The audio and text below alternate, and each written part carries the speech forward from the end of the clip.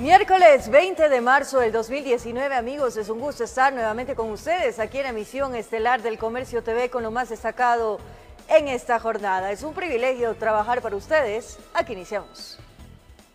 El CNE resolvió que el conteo de votos nulos para elegir al nuevo Consejo de Participación Ciudadana y Control Social será resuelto por el Tribunal Contencioso Electoral. Más adelante los detalles. Ahora les contamos que Iván Granda, secretario Anticorrupción, en diálogo con los periodistas de la ciudad de Cuenca, confirmó la entrega de los 13,5 millones de dólares por parte de Tomislav Topic. El secretario anticorrupción, doctor Iván Granda, en rueda de prensa realizada en la gobernación de la SUAY, confirmó que Domislav Topic ha entregado ya los 13,5 millones de dólares, asegurando que esta vez no se trata de una entrega a plazos, sino de una entrega real a inmobiliar. El señor Topic ha consignado el valor, lo que el juez le ordenó el 27 de febrero. Entendemos que la Fiscalía hará el análisis del caso y establecerá las condiciones de enjuiciamiento que correspondan. Aunque reconoció que tal entrega no se hizo en los plazos previstos legalmente, calificando a esta recuperación monetaria como un trabajo positivo de la Administración de Justicia. Lo cumplió fuera del plazo, luego él planteó una acción que nosotros la calificamos como descabellada e ilegal, en donde planteaba compensaciones con el Estado, cruce de cuentas. Nosotros lo que planteamos es que el juez determinó que esos 13.5 millones de dólares tienen que estar en las cuentas de inmobiliario. El alto funcionario recordó el camino de estos dineros que llegaron a Telconet, producto presuntamente de coimas de Odebrecht. Son 13.5 millones, que es lo que estableció la trama Odebrecht. ¿Cómo funcionó? A través de paraísos fiscales y empresas de papel. Odebrecht pagó coimas al señor Rivera a través de Glory International. Eh, estas eh, fueron hacia China, que es esta empresa de papel. Esta, a su vez, fue a Miami, a, cuentas de em, la banca estadounidense, y esos 13.5 millones sirvieron para capitalizar Telconet y de esa forma lavar el dinero. Informó desde la ciudad de Cuenca Francisco Ramírez. En el ámbito económico, reformas tributarias y laborales se enviarán a finales de este año a la Asamblea Nacional. Así lo dio a conocer el ministro de Economía y Finanzas, Richard Martínez, durante su comparecencia ante la Comisión de Desarrollo Económico, en la cual dio detalles sobre el acuerdo con el Fondo Monetario Internacional, FMI, y otros seis multilaterales. El tan esperado anuncio sobre las condiciones a las que podría haberse comprometido el gobierno con el Fondo Monetario Internacional en el marco del crédito otorgado por este multilateral a Ecuador sigue siendo un misterio, puesto que no se dio detalles de ello durante la comparecencia del ministro de Economía y Finanzas Richard Martínez ante la Comisión de Desarrollo Económico de la Asamblea Nacional. Esta semana eh, se liberan ya todos los documentos, tanto la carta de intención como los anexos, el eh, reporte del staff que fue presentado al directorio, no, pasará esta semana. En tanto, lo que sí se hizo público fueron las metas macroeconómicas que el gobierno se plantea en el marco del plan de prosperidad para acceder a un mayor nivel de financiamiento que permita reconstruir el desequilibrio fiscal, aseguró Martínez, entre las cuales consta enviar al legislativo una reforma tributaria. Sí, la reforma tributaria básicamente lo que va a buscar es eh, darle mayor simplicidad al esquema tributario actual. Entonces hay mucha dispersión de impuestos, hay eh, temas que tenemos que analizar a profundidad y también en ese caso eh, estamos iniciando un trabajo para hacer un análisis que nos permita presentar una reforma tributaria en el último trimestre del año. En base a este plan también se contemplan reformas laborales. Que nos permita reducir la informalidad, particularmente de mujeres y jóvenes, y que responda a las necesidades de estos segmentos. Entre las metas también consta la reducción de la masa salarial del sector público, que se llevará adelante hasta el 2021. El esfuerzo adicional que tenemos que hacer es de 150 millones, que contempla no solamente al gobierno central, pero también a las empresas públicas, contempla también a otras instituciones del Estado. Indicó que dentro de estas metas no se contempla revisar el subsidio a combustibles durante el 2019 y 2020, aunque para el 2021 podría ser un objetivo. Entonces, hay que ver eh, a futuro eh, cómo se cumple con ese objetivo sobre la base de decisiones que se deban tomar en un momento determinado. En Quito informó Adriana Rojas. La ministra del Interior, María Paula Romo, anunció la reapertura del caso Carolina. Advirtió que se investigará si hubo la intención de esconder la verdad. En horas de la tarde, varias autoridades realizaron la reconstrucción de los hechos. Visitaron los puntos donde estuvo la menor. Las investigaciones ahora están a cargo de agentes especiales de la Dirección Nacional de la Policía Judicial. Con los avances logrados, el caso denominado Carolina tuvo un giro de 180 grados. Las diligencias determinaron que el fallecimiento del adolescente fue provocado. Y el caso se va a tramitar como un homicidio intencional. Horas atrás se realizó la exhumación del cuerpo de la menor diligencia con la que oficialmente se reaperturó el caso Carolina.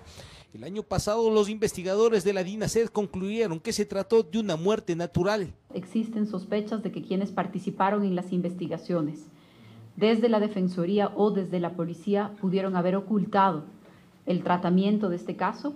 El cuerpo fue dejado en agosto del 2018 cerca de su casa en el sector del Comité del Pueblo Norte de Quito. La ministra Roma advirtió que se investigará toda la cadena de mando estuvieron a punto de esconderlo, porque no se ha hecho, está ahí y lo vamos a seguir, pero si es que hubo la intención de esconder este caso y hay funcionarios que están involucrados con eso, también tendrán que asumir esas consecuencias. Al momento hay tres detenidos, dos se encuentran con prisión preventiva, un tercero fue favorecido con medida cautelar, tiene que presentarse ante la autoridad de forma periódica. De entre estas personas se presume que es, uno de ellos es el autor material del asesinato de Carolina.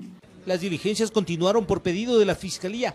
Así, con la presencia de los sospechosos, se realizó la reconstrucción de los hechos. Tres puntos donde presuntamente estuvo la adolescente en ese entonces de 13 años de edad fueron analizados por los peritos. La fiscal tiene facultad de delegar a quien estime conveniente porque luego se, se, derivó como un delito de violación que finalmente resultó en muerte. Entonces la Policía Judicial es el, responsable en, en, este tipo de delitos de sexuales y obviamente ya tenemos que evacuar todas las diligencias que la Fiscalía dispone.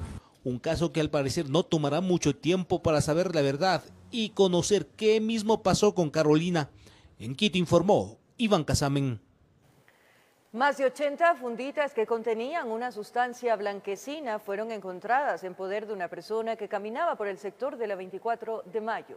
Presumen que las dosis estaban destinadas al microexpendio tenían la apariencia de indigentes, caminaban por el sector de la 24 de mayo. La actitud que mostró uno de ellos levantó sospechas en los policías. En la revisión corporal el uno estaba limpio, no así su amigo de andanzas.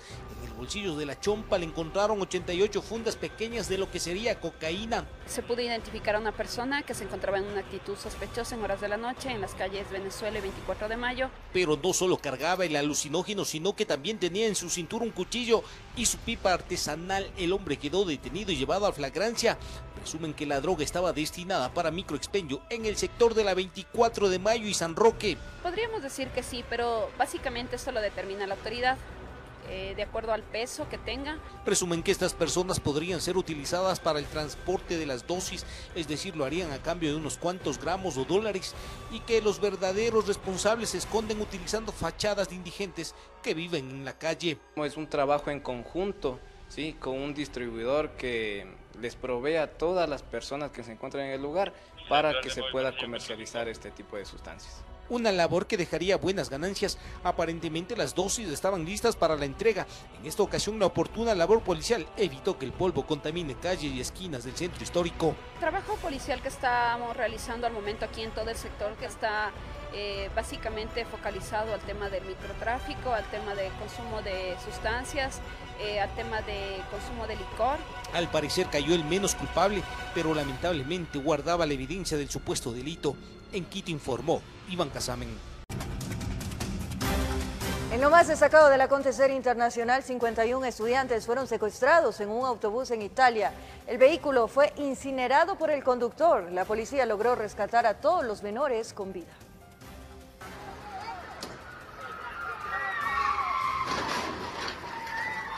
Este es el momento exacto en que 51 estudiantes fueron secuestrados en un bus en Italia. El transporte fue interceptado por la policía tras la alerta de un menor y un adulto a los servicios de emergencias.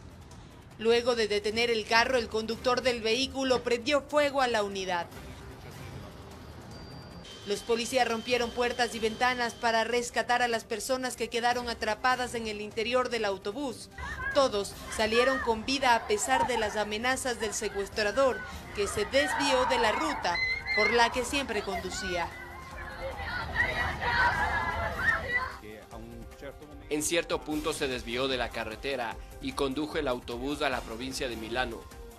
Sobre la base de la primera evidencia que reunimos, el hombre había dicho que hoy nadie sobrevivirá. El sujeto de 47 años pretendía suicidarse en el hecho en forma de protesta para detener la muerte de los inmigrantes que atraviesan el mar Mediterráneo para escapar de África y Medio Oriente hacia Europa en busca de un mejor futuro.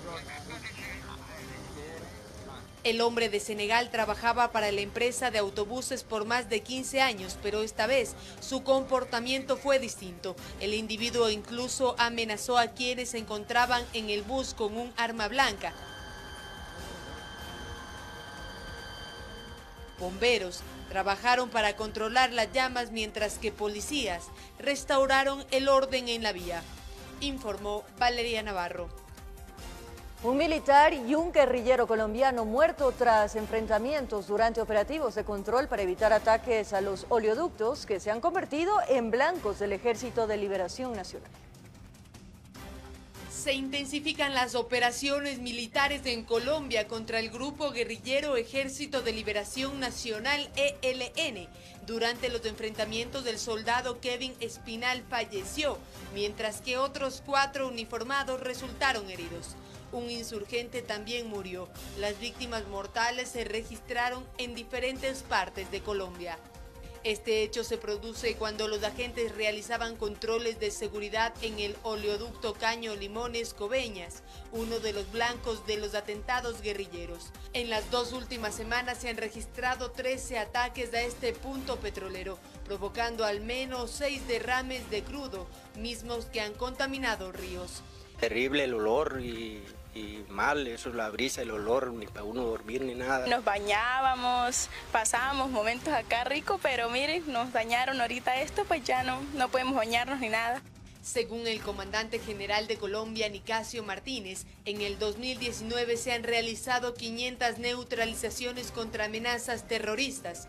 El Ejército de Liberación Nacional no cesa el fuego debido a que el gobierno de Iván Duque paralizó las negociaciones de paz desde hace dos meses, ignorando a un sector conformado por 1.700 combatientes informó Valeria Navarro. Los temas más cuestionados en la ciudad capital, pues se considera que ha crecido en forma desmedida. Salimos a las calles a preguntar a la ciudadanía cuál considera que es el problema que enfrenta Quito y que debería ser prioridad para la nueva alcaldía. Esto fue lo que nos respondieron. Ay, es, las ventas ambulantes sí son, una, son terribles. Congestiona las, las ceras que son para los peatones. Las ventas ambulantes son un fastidio. No hay por dónde pasar, venden comida, botan basura, entonces todo es un problema en común. Es un peligro o sea, tanto para el que vende como para el que compra. Un trabajo no regularizado, una problemática social que ha sido muy cuestionada en la capital y sobre la cual se ha registrado malestar, denuncias y protestas por parte de los comerciantes regulares, quienes alegan que esto afectaría sus negocios, un tema que se agudizó con la ola migratoria que soportó el país en los últimos meses y que lamentablemente no se ha sabido enfrentar y resolver de la mejor manera por parte de la actual administración municipal, sostiene el exalcalde de Quito, Sevilla.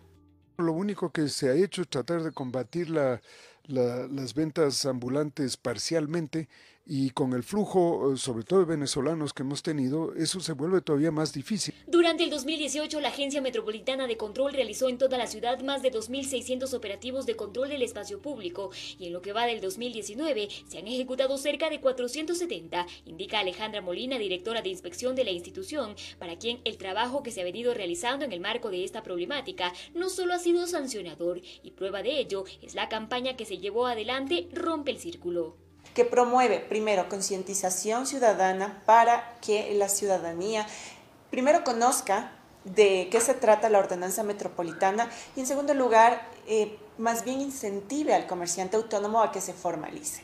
En lo que va del 2018, se han entregado 4.700 autorizaciones de comercio autónomo en el espacio público a través de requisitos sencillos, señala, pues es un proceso que no requiere de mucho esfuerzo, considerando que con ello se evitarían retenciones de productos y multas que llegan hasta el 50% de un salario básico unificado, es decir, 197 dólares. Pero más allá de ello, la ciudadanía debe hacer su parte en este tema, sostiene. Tenemos que ser corresponsables.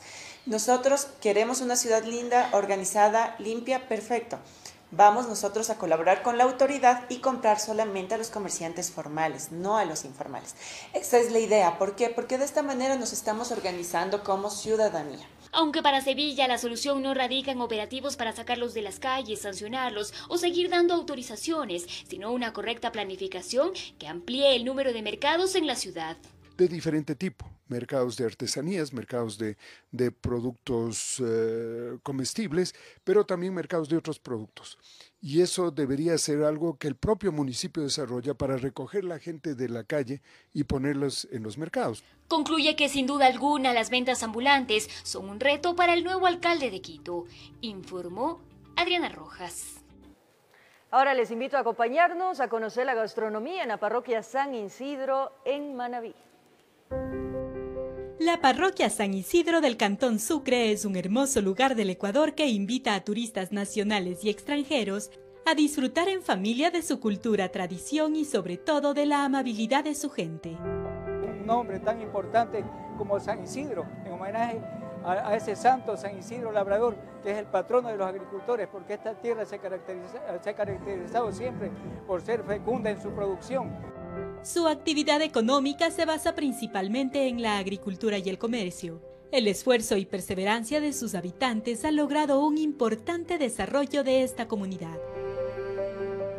Yo tengo la edad de 14 años trabajando en esta producción, gracias a mi padre que, me enseñó a trabajar y me siento muy orgulloso porque mi material lo cojo, lo llevo Santo Domingo, hago entrega, Pedernales, Chones y llegan a remontar monturas. Su deliciosa gastronomía enamora a todos los visitantes de esta localidad. Sus platos típicos como las tongas y las hallacas de gallina criolla deleitan el paladar de los comensales. No dude en visitar este hermoso lugar de nuestro país. Con la realización de Marco Ruiz, informó Sara Naranjo. Gracias por su compañía, cariño, pero sobre todo fiel sintonía. Un abrazo grande.